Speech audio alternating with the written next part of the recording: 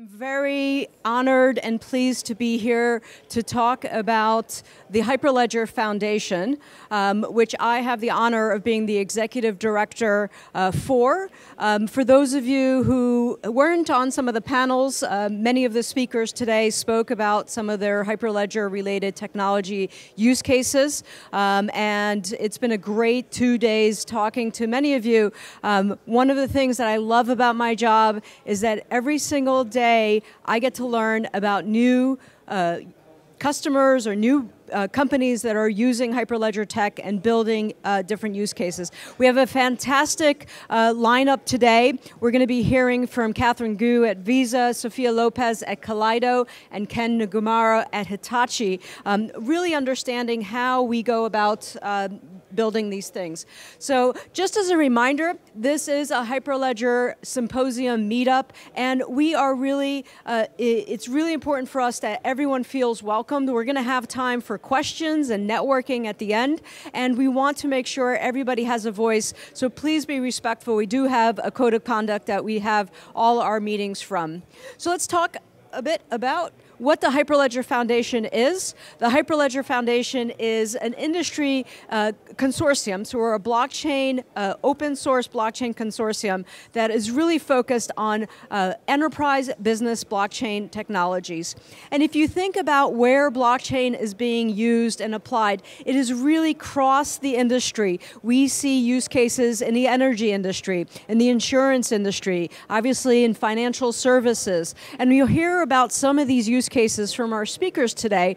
But if you think about where, uh, what makes this unique is that we are cross industry and really focused on building developer communities for these open source projects. Many of these projects are going to be critical and are critical already in, uh, in different use cases, and open source is really key to making sure that these technologies are enabled. So uh, the Hyperledger Foundation is part of the Linux Foundation. For those of you who don't know the Linux Foundation, for the last 20 years, We've been hosting some of the most important open source technology projects uh, around the world. Obviously, starting with the Linux kernel itself, which is how the Linux Foundation uh, started, you know, over 20 years ago. Uh, today, some of uh, projects like cloud native computing, which is where Kubernetes sits, or automotive grade Linux. We actually also have like the Academy Software Foundation. If you like watching films, a lot of the film th 3D uh, rendering, film uh, making that comes from open source that is hosted at the Linux Foundation. And today we'll talk obviously about the code that is hosted at the Hyperledger Foundation. We are a neutral community, meaning anyone can participate. All our code is available as Apache license. You can download the code and you can use the code for whatever reason that you need to do so. And it's really important for us to make sure that anyone can participate as part of the foundation as we go through it. Today, our community since 2015 has really grown quite a bit. Um, we are a community of over 40,000 contributors. These are people that have contributed code or other types of content into the community over the last six, seven years uh, associated with uh, Hyperledger. Um, we have uh, hundreds, uh, over 300 different repositories. These are open source code bases and repositories that host our code and our developer community And we are also hundreds of companies that support the foundation. These are companies that join the Hyperledger Foundation to help support of the, de uh, the developer communities, to help support the uh, governments and the associations that are building using Hyperledger technology. Uh, as I mentioned, we've been doing this since 2016. Um, I would say we're one of the oldest of the enterprise blockchain spaces, and we've really seen growth and um, community uh, as we go through it. Um, today, uh, we have things like our global meetup community, where we have over 80,000 people that participate in our meetups, um, our regional and our virtual meetups and events like we are meeting today. And it's really about growing that community and making sure that everybody has access to it. A brief history of Hyperledger. For those of you who visited our booth over here, you saw this timeline of where the Hyperledger Foundation and what we've been delivering to the marketplace. And as I mentioned, starting in 2015, we actually launched the Hyperledger project. At the time, it was called a project. It had one project that was contributed to in the beginning of 2016, which was Hyperledger Fabric. It was a major contribution by IBM as well as digital asset. And today, Hyperledger Fabric continues to be one of the most adopted permission distributed ledger frameworks in the marketplace. They're already on version three. They have two LTS releases, which are long term support releases. And it's really important when you think about enterprise grade software where enterprises are using this code into their own products and services that things like the project lifecycle and how the, prod, the product projects themselves get to market. And that is something that the Hyperledger Foundation really focuses on. So in 2016, we had Hyperledger Fabric, Hyperledger Sawtooth, which was a contribution by Intel, um, Hyperledger Explorer, which was a community contribution, and then Hyperledger Iroha, which was a contribution by a company in Japan called Soramitsu. Um, all these, at this point, were permission distributed ledgers, and the enterprise wanted and needed a very specific use case for distributed ledgers. Oops, and I don't know how to click. There you go. In 2017, the foundation started to expand a bit beyond the traditional distributed ledger blockchain, and we actually brought in uh, Hyperledger Indy, which was a purposely built framework for digital identity. Um, Cello uh, was an operating for a community-driven uh, project as well, and Quilt started addressing the needs for interoperability. So very early on, we knew that it was going to be a network of networks and interoperability between platforms was going to be important. And I'll hit upon that in a little bit a second. The other thing that happened in 2017 is we actually welcomed the first EVM or Ethereum Virtual Machine project into the foundation. And Hyperledger Burrow had an EVM, it was built on Tendermint. It has since been end of life, but the EVM component itself is still active. And it was really a nod to where we were seeing the Ethereum ecosystem from a market perspective, and that there was interest in the EVM and a lot of the community building there. And we'll talk more about that in a second. As we proceed, the enterprise changes continue to grow, and Caliper and Ursa came in in 2018, addressing, for example, Ursa from a cryptographic library perspective. And we started launching and bringing in code projects that were not just DLTs, but there were also tools and libraries to help enterprises actually do the deployment of these tools within their enterprises. 2019 was another year where we saw some firsts, and we saw uh, Hyperledger Aries, which actually came from Indy, and this is also in the digital identity space, um, and became its own project. Um, Grid, which was a project specific to supply chain domain, so building applications on the supply chain, um, and Transact and Avalon, once again, tools and libraries enabling the deployment of these tools within enterprise use cases. And in 2019, we also welcome a very important project, Hyperledger Besu.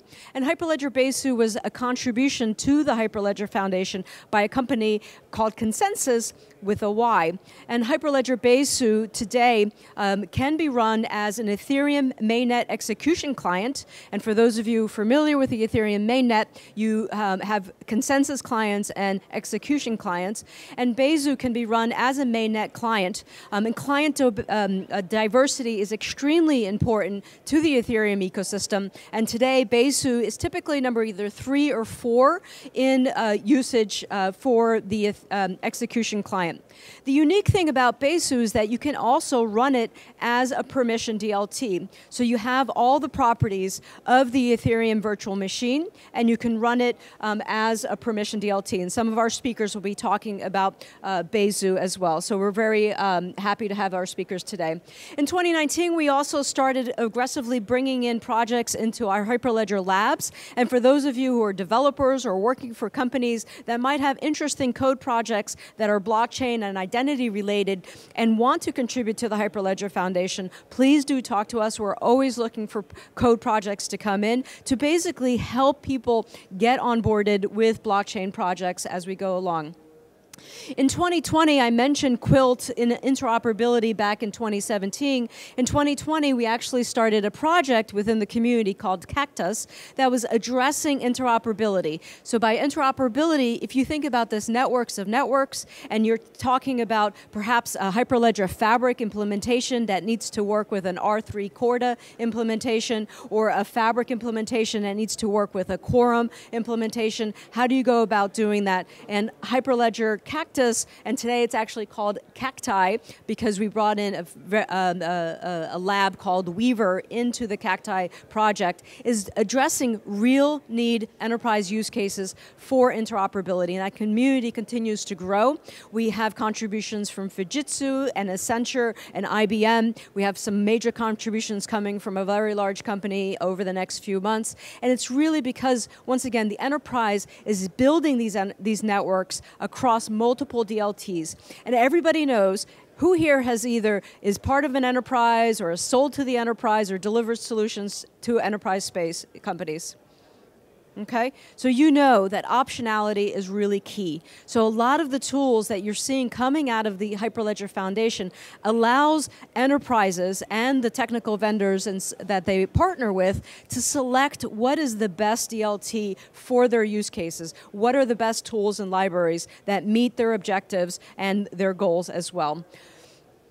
In uh, 2021, um, I actually took over as executive director in the fall of 2021. I had been with the project since 2017, but I took over as executive director. And what we had been seeing over the last 12 months before was that there was a change in how the enterprise was addressing these use cases. And we, as we saw, there was not just one project or a few projects that were really driving the Hyperledger project and our community and our members worldwide. So we actually rebranded to Hyperledger Foundation, so we're an umbrella of projects, and all our projects are under our umbrella.